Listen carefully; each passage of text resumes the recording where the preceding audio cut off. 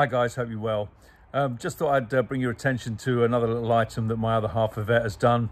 Uh, she interviewed martial artist Zara uh, Phythian and uh, two fantastic ladies chatting about martial arts and also uh, Zara's film career. Uh, but at the end of the interview, um, uh, I suggested that Yvette try and do some martial arts with Zara and it's not really Yvette's thing, but she had a go and uh, yeah, have a look at this.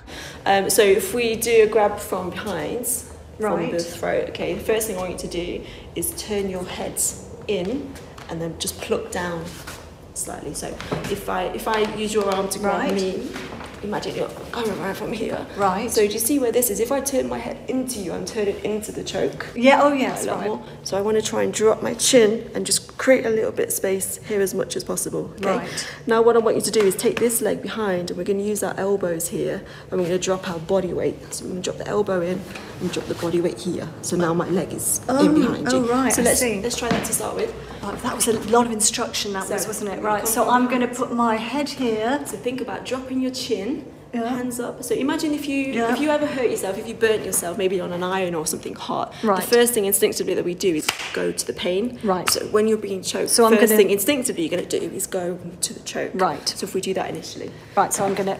Yeah, good. Drop your chin. Okay, so now if you bend your knees and drop your body weight, and then this elbow is free right here Right. to drive into my midsection, so we can drive back. Good. Now if you drop your body weight and take this leg behind me, There. There we go. Keep turning your hip, so you step all the way through. Get behind, get behind. There we go. Good. Now elbow me here. Good. Elbow, elbow, elbow, elbow, elbow. Good. Okay, well, let's do the next part. I have a feeling that, that they'd escape. they'd have killed me. but- Yeah, this is practice, yes. We're right. practicing right now. Right. Okay, so the next part. So this is here. Okay, so I think instinctively we've gone to where the choke is. Right. And we're dropping down. Look, so I'm Right. dropping my weight here Yeah, as well. yeah. Okay.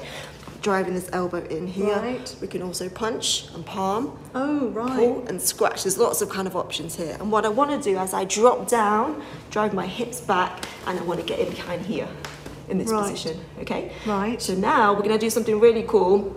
Um, it's a monkey grab. So what we're going to do from here is go either to the back of the thigh and grab to pinch. I can go inside, okay? Right. Or I can bring my hand around Right. from the outside here. Oh, that's complicated. that's complicated. All I want you to do today is think about instinctively, hands are going to be up here. Right. Okay, so what are my options here? I'm dropping my body weight. Yeah. I'm trying to release this choke hold here by dropping my chin as well. Right. So elbows. Yeah. You can stamp on the foot if you're wearing heels. Right. You could be scraping down the leg. Mm-hmm. Yeah, stamping on the foot here. The groin is always an option, so we can strike down with the groin here. Right. We can pinch the back of that leg, Yeah. which um, is very nice, isn't it? Yeah, it hurts, doesn't it? and, and strike up here. So I think the most important thing to do is to keep moving. Yes. Watch where your throat is and protect yourself. Keep this nice and tight. And if we can, I want to get around you here. Right. Now, as I push my body weight up, I'm Oh going to take God. you back. Over this position. now, granted, someone who's probably going to grab you is going to be a little bit bigger, a little bit stronger. So it's about striking to those sensitive Yeah. areas, into those soft tissue areas. It was Right. the pinch. The pinch hurts, doesn't it? Sorry.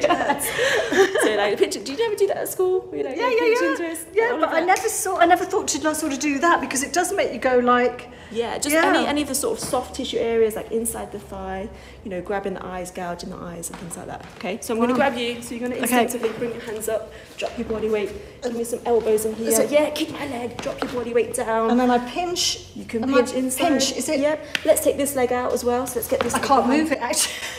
Turn, turn your hips, so shrink your hips that way. There you go. Now get this leg behind my leg. Good. Now you've got more options here. Oh right. So what I want you to do now is go to the inside of my thigh. Can go to this one. This one's closer to you. Pinch. Pinch, pinch and squeeze. Like pinch it like you're pinching the skin. Ah! Right. There you go. And then from here we've got elbows. You Oh, and then I can go into you Can bring, you can bring his hand around the back through here, in front over the shoulder to my face. Now you're protecting Oh, your face right, as well. yeah. Drive upwards. You can be gouging the eyes right here. Pushing, and as you push your hips forward, look, you're off balancing me here as well. Oh, At the yeah. same time. Okay. Well, that's quite, that's really complicated. Obviously, um, the main thing you're going to do when you get grabbed here is think, right, how am I going to get out of Mm. yeah. this? But I think you just need to remember to breathe Yeah.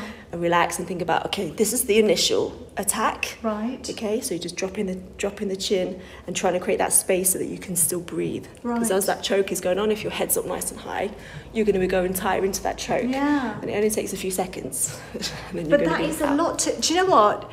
That is a lot to think about. So when we see just a couple of moves at a film, the amount of work just to do that, and I am rubbish at that. But I mean, You you could just headbutt me. do I, do I feel that? From here, look, you could be striking me here.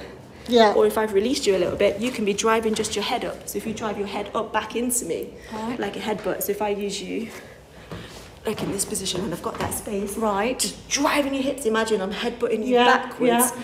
And driving up here. So it's basically using your elbows, your hands, your feet, Yeah. your legs. They're all your weapons. They're all there to protect you. But I think Dear one thing that I've learned is if you don't do that kind of stuff and think, right, how can I use my palm? Yeah. Or just think, ah, strike to the groin. If you don't train that, then it's, it doesn't come naturally to you And to to what comes about it. naturally, you're right, is to go like that, and then you can't breathe, and then you, you've, you've had well, you've had it, haven't you? But Really? There's different, there's different ways also to get choked. So you might get grabbed like this. You might be grabbed here. Yeah. You know, you could be, your hair could be pulled. There's, Yeah. There's different ways that you can get grabbed. So you're just kind of practicing different scenarios and, and what comes natural to you. So what comes natural to me is whatever I've trained and what I do Yeah. might be completely different to you. But I think initially going to where the pain is. Right. Turning your hip and then this like plucking motion, just creating that little bit of space so you can still breathe, which then you can kind of take your time and think about what you need to do to get out of that scenario and that situation. Because right. a lot of times when you get attacked, I hope you never do, if you're in that situation, um, you know panic sets in or you're going to freeze mm-hmm. and you haven't got time to think right what was combination 22 that we did? Yeah. because that's against that move. You mm-hmm. haven't got time to think about that. You've got to kind of do what instinctively works for you Yeah. there and then. So I Oh. think that that is harder than it looks because you do have to really use your head. You have to use your brain. You have to you have to think. And and like you just said in situations like that they they you're so frightened that it is complicated. You don't think. You stop breathing and you completely freeze thank you thank you for that Let, let's do something real simple Yeah. that you can do really, really quick. Right. Um, and there's different ways to grab. If I just grab your wrist, Right. like this, imagine I'm just going to try and pull you just to grab me here. Right. Okay? Um, we do this with our, uh, our little dragons, like our four and five year olds. So it's really simple. Right. Mm-hmm. You're going to open your hand out. Just like this, and we're going to pull against the thumb. So the thumb can't grip very well. So we always want to think about going with the thumb. So like we did with that choke, Right. we want to think about where that opening was, and that's where we want to turn our head. I want you to bend your elbow, and then open your hands really big. And there you go. And then you imagine pulling your thumb like you're going to try and brush your hair, Right. and pull away from my thumb as you bring your hand up. oh I That's see Yeah. So if you grab my wrist, so I'm going to open my hands bend the mm-hmm. elbow, because if you just pull here, right I'm going to be pulling away from this grip. If I bend my elbow and pull up against the thumb, oh it just releases release. Yeah. So I'll Oh. grab you. So if you open your hands, bend your elbow, and then turn this palm flat. So your little finger's down and your thumb is up. Mm-hmm. So think about where my thumb is. Right. And now pull your thumb away from my thumb straight up. yes Okay. it does it releases doesn't Yeah. it One more time. If you grab my wrist. So open here. Now if you twist when you do it, now I'm pulling down to the fingers again. So you just Right. want to think about where the thumb is. And then from there, you grab as strong as you can. Pull from the thumb. and it just goes Yeah. it? it just opens Open your hands, bend your elbow, pull from the thumb. Imagine you're taking a phone call or you're trying to brush your hair. yeah Yeah? Well, that now I can do the four to five year olds, no problem. I'm with her all the way. Anything beyond, I think I think that Zara's just found my level. Four to five year old.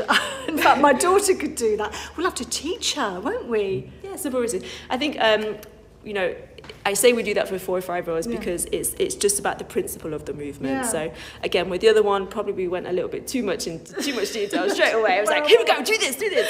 Um, but I mean, with self defense, with anything like that, it's just what comes instinctively to you, Yeah. and also what what you train as well. And if you practice something quite regular, it just becomes natural for you to do it. And if you don't do that, and you know, a lot of people that I speak to, are like, oh, well, if this happened to me, I would do this. But if you don't train that and don't practice that, you There's won't way. because you know when that kind of fear kicks in and you freeze and you're actually in a situation, um, it's completely different. Everyone's got a Mm-hmm. Plan until they get punched in the face. Yeah. Apart from you, because if you, yeah, but Zara, she doesn't have to worry about these things. Can Listen, I ask you, do you think she's got a future in martial arts? Everybody has a future in martial arts. What I think is there is the right martial art for different people. So.